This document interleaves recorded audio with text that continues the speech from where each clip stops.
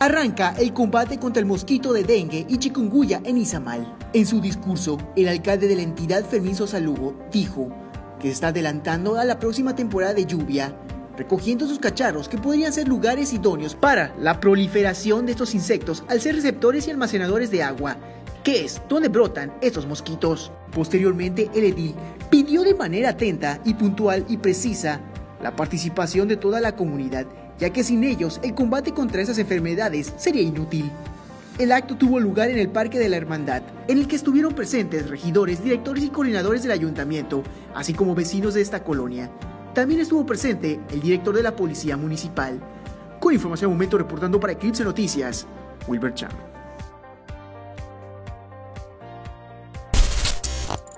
Eclipse, televisión digital.